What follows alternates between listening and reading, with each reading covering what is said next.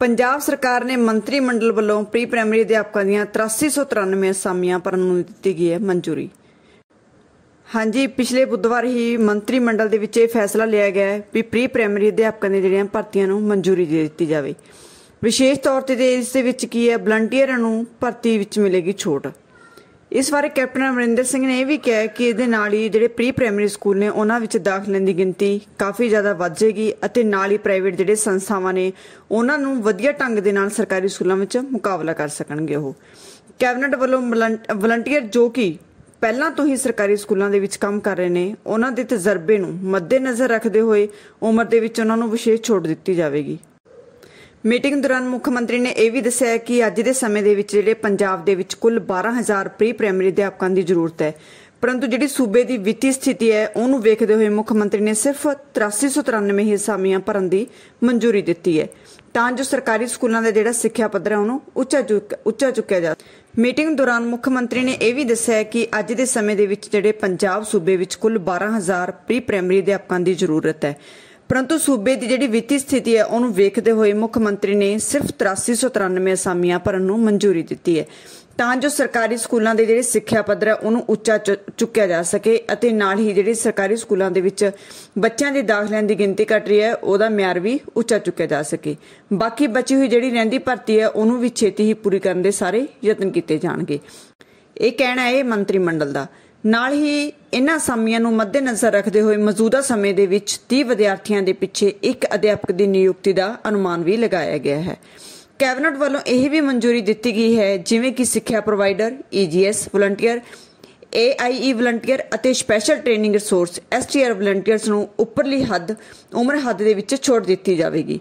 ਵਿਭਾਗ ਵੱਲੋਂ pre primary teachers ਜਾਂ ਈਟੀਟੀ ਟੀਚਰਸ ਦੇ ਰੈਗੂਲਰ ਭਰਤੀ ਹਿੱਤ ਇਸ਼ਤਿਹਾਰ ਦੇਣ ਸਮੇਂ ਜਿਹੜੇ ਕਾਫੀ ਤਜਰਬਾ ਹਾਸਲ ਕਰ ਚੁੱਕੇ ਨੇ ਹੁਣ ਤੱਕ ਟੀਚਰਸ।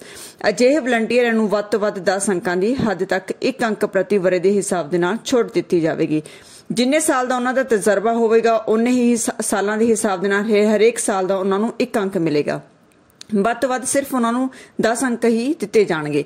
ਧਿਆਨ ਦੇਣ ਯੋਗ ਗੱਲ ਇਹ ਵੀ ਹੈ ਕਿ ਬੱਚਿਆਂ ਦੇ ਮੁਫਤ ਲਾਜ਼ਮੀ ਸਿੱਖਿਆ ਅਧਿਕਾਰ ਐਕਟ 2009 ਦੇ ਵਿੱਚ ਆਰਟੀਆਈ ਤਹਿਤ 6 ਤੋਂ 14 ਸਾਲ ਤੱਕ ਦੇ ਹਰੇਕ ਬੱਚਿਆਂ ਨੂੰ ਮੁਫਤ ਲਾਜ਼ਮੀ ਸਿੱਖਿਆ, ਉਹਨਾਂ ਦੇ ਨੇੜੇ ਦੇ ਸਕੂਲ ਜਿਹੜੇ ਐਲੀਮੈਂਟਰੀ ਸਕੂਲ ਹੁੰਦੇ ਨੇ, ਉਹਨਾਂ ਦੇ ਵਿੱਚ ਉਹਨਾਂ ਨੂੰ ਹਾਸਲ ਕਰਨ ਦਾ ਹੱਕ ਹੈ।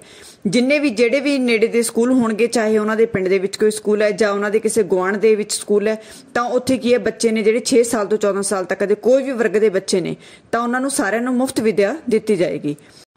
ਸਰਕਾਰੀ ਸਕੂਲਾਂ ਵਿੱਚ ਬੱਚਿਆਂ ਦੀ ਭਰਤੀ 2019-20 ਤਹਿਤ ਸਾਲਦਾਰ ਉਹਨਾਂ ਦੀ ਕਾਫੀ ਘਟ ਰਹੀ ਸੀਗੀ, ਜਿਸ ਕਰਕੇ ਸਿੱਖਿਆ ਮੰਤਰੀ, ਜਿਸ ਕਰਕੇ ਸਿੱਖਿਆ ਦੇ ਪੱਧਰ ਨੂੰ ਉੱਚਾ ਚੁੱਕਣ ਦੇ ਲਈ ਸਕੂਲਾਂ ਦੇ ਵਿੱਚ ਜਿਹੜੇ ਘਟਦੇ ਦਾਖਲੇ ਸੀ ਉਹਨਾਂ ਦੇ ਪਿੱਛੇ ਕਈ ਕਾਰਨ ਸੀਗੇ। ਜਿਵੇਂ ਮਾਪਿਆਂ ਵੱਲੋਂ ਛੋਟੀ ਉਮਰ ਦੇ ਵਿੱਚ ਹੀ ਬੱਚਿਆਂ ਨੂੰ ਸਕੂਲ ਭੇਜ ਦਿੱਤਾ ਜਾਂਦਾ ਹੈ, ਜਿਵੇਂ ਬੱਚਿਆਂ ਨੂੰ ਪਲੇਵੇ ਸਕੂਲ ਦੇ ਵਿੱਚ ਪਾਇਆ ਜਾਂਦਾ ਹੈ 2.5-3 ਸਾਲ ਦੀ ਉਮਰ ਦੇ ਵਿੱਚ ਹੀ ਪਰੰਤੂ ਜਦੋਂ ਸਰਕਾਰੀ ਸਕੂਲ ਦੇ ਵਿੱਚ ਐਡਮਿਸ਼ਨ ਕਰਾਉਣੀ ਹੁੰਦੀ ਹੈ, ਤਾਂ ਉਦੋਂ ਕੀ ਹੈ, ਸਿਰਫ ਜਦੋਂ ਬੱਚਾ 6 ਸਾਲ ਦਾ ਹੋ ਜਾਂਦਾ ਹੈ, ਫਿਰ ਹੀ ਉਸ ਨੂੰ ਪਹਿਲੀ ਕਲਾਸ ਦੇ ਵਿੱਚ ਦਾਖਲ ਕਰਵਾਇਆ ਜਾਂਦਾ ਹੈ।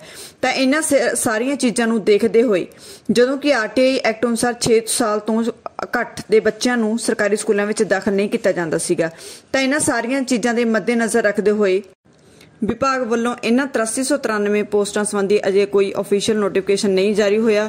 ਜਦੋਂ ਇਹਨਾਂ ਸੰਬੰਧੀ ਕੋਈ ਨੋਟੀਫਿਕੇਸ਼ਨ ਜਾਰੀ ਹੋਇਆ, ਤਾਂ ਤੁਹਾਨੂੰ ਅਗਲੀ ਵੀਡੀਓ ਦੇ ਵਿੱਚ ਉਹ ਜ਼ਰੂਰ ਦੱਸਾਂਗੇ ਤੇ ਨਾਲ ਹੀ ਕਿਸ ਤਰ੍ਹਾਂ ਉਹਨਾਂ ਦੀ ਐਲੀਜੀਬਿਲਟੀ ਹੈ ਟੀਚਰਸ ਦੀ ਮੰਗੀ ਗਈ ਹੈ ਕਿਹੜਾ ਕਿਹੜਾ ਉਸ ਨੂੰ ਕਿਹੜੇ ਪੋਸਟ ਨੂੰ ਅਪਲਾਈ ਕਰ ਸਕਦਾ ਹੈ, ਕਿਸ ਤਰ੍ਹਾਂ ਪੋਸਟਾਂ ਦੀ ਡਿਵੀਜ਼ਨ ਕੀਤੀ ਜਾਵੇਗੀ, ਇਹ ਸਾਰਾ ਕੁਝ ਤੁਹਾਨੂੰ ਅਗਲੀ ਵੀਡੀਓ ਦੇ ਵਿੱਚ ਦੱਸਾਂਗੇ। ਵਿਭਾਗ ਵੱਲੋਂ ਇਹਨਾਂ ਪੋਸਟਾਂ ਸੰਬੰਧੀ ਪੀਐਸ ਟੈਟ ਜ਼ਰੂਰੀ ਰੱਖਿਆ ਗਿਆ ਜਾਂ ਨਹੀਂ, ਜਾਂ ਪੀਐਸ ਟੈਟ ਪ੍ਰਤੀ ਉਹਨਾਂ ਨੂੰ ਛੋੜ ਦਿੱਤੀ ਜਾਏਗੀ। ਜਾਂ ਇਹ ਵੀ ਹੋ ਸਕਦਾ ਹੈ ਵੀ ਜਿਹੜੇ ਸਿੱਖਿਆ ਪ੍ਰੋਵਾਈਡਰ ਸਰਕਾਰੀ ਸਕੂਲਾਂ ਦੇ ਵਿੱਚ ਕੰਮ ਕਰ ਰਹੇ ਨੇ, ਸਿਰਫ ਉਹਨਾਂ ਨੂੰ ਹੀ ਪਹਿਲ ਦਿੱਤੀ ਜਾਵੇਗੀ। ਜੋ ਵੀ ਨੋਟੀਫਿਕੇਸ਼ਨ ਮਿਲੇਗਾ, ਉਹ ਤੁਹਾਨੂੰ ਅਗਲੀ ਵੀਡੀਓ ਦੇ ਵਿੱਚ ਜ਼ਰੂਰ ਦੱਸਾਂਗੇ। ਬਾਕੀ ਜੇ ਤੁਹਾਨੂੰ ਇਹ ਵੀਡੀਓ ਵਧੀਆ ਲੱਗੀ ਤਾਂ ਸ਼ੇਅਰ ਕਰੋ ਕਮੈਂਟ ਕਰਿਓ ਤੇ ਸਬਸਕ੍ਰਾਈਬ ਜ਼ਰੂਰ ਕਰਿਓ।